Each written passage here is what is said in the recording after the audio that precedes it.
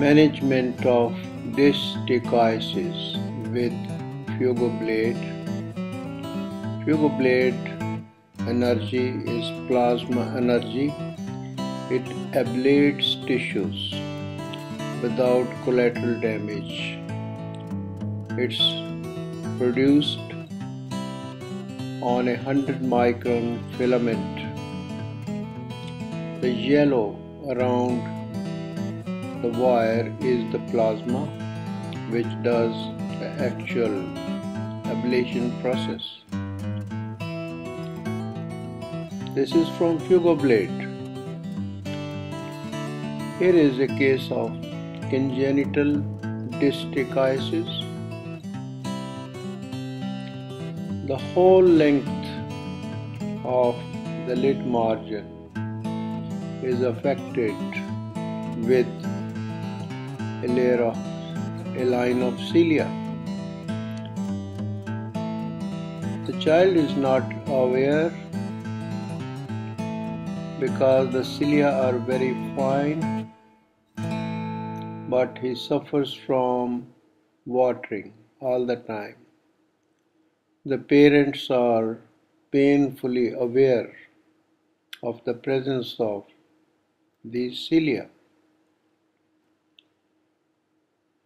It's not an easy condition to deal with. Many things have been tried. They are effective, but they are not easy. They are not sure. Like you have cryo, you can cryo the whole length of the lid margin, or you can remove the whole strip of the lid margin which becomes a very extensive surgery.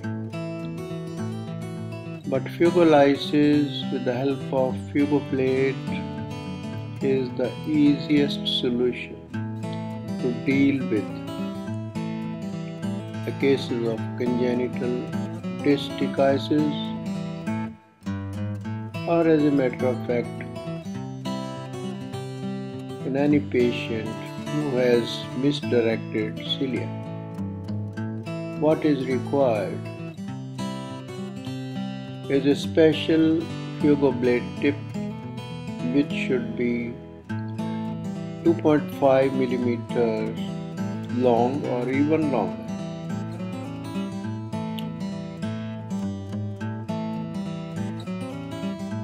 The energy setting on Fugo blade may be medium or less than medium. That we find on trial how much energy really required. Most important point is that be sure that the tip is passing through the lid and the tip is never directed towards the eyeball because the eyeball will get perforated immediately. So that's the most important precaution. Technique is very simple. You take the fugo blade tip in line with the length of the cilium, penetrate and reach the root of the cilium the root gets destroyed immediately. So all the four lids in a congenital case can be dealt with at one sitting. There will be no post-operative reaction and most of the cilia will never regrow. In case some have been missed on the first sitting and it's quite possible because the cilia are extremely fine.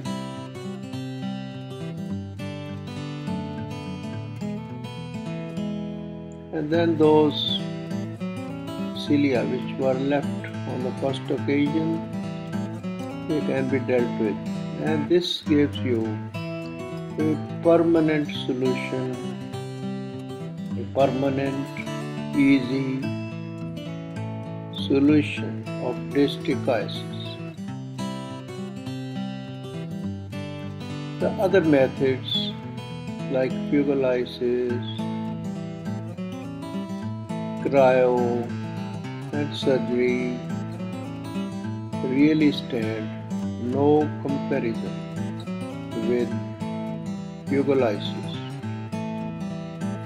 Only precaution is to make sure that the fugoblade tip is moving in the lid. It should never go vertical else it will penetrate through the lid and through the eyeball.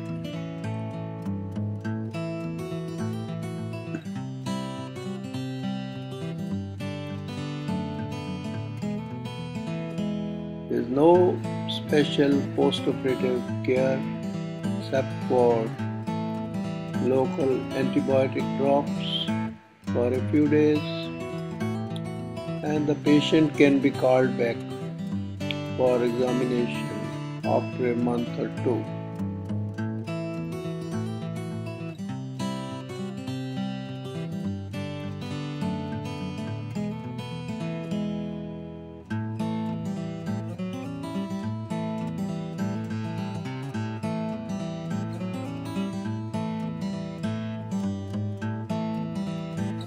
Most efficient method of dealing with large number of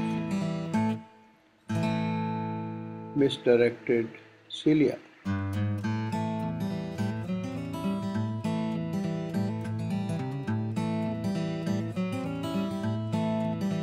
So that is as far as congenital distichiasis goes.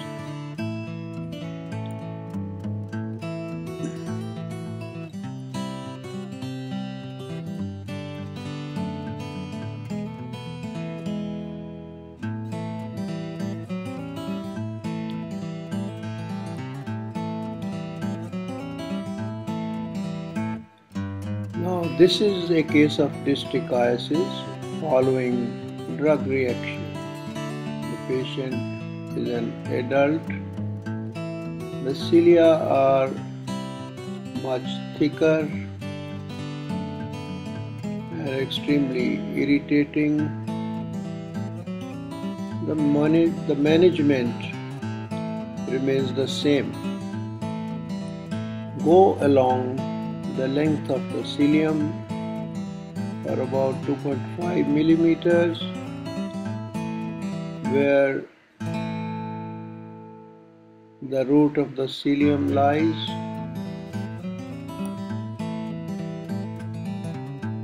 and the root gets destroyed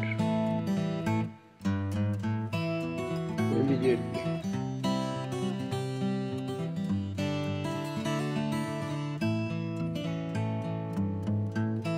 As you can see there is no burning and no charring in the area of fugolysis. Now the white thing that you see is caused by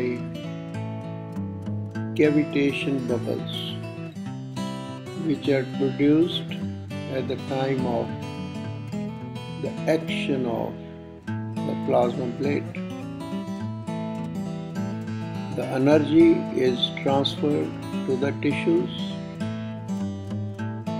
by the process of resonance and at the point of activity there is formation of micro air bubbles so you see that whitening area when fugoblade is used for fugolysis. Any thickness of cilium, it doesn't matter.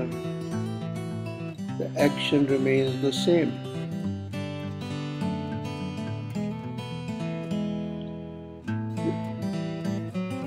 Fugolysis is infinitely superior to traditional electrolysis. It is extremely fast and without collateral damage.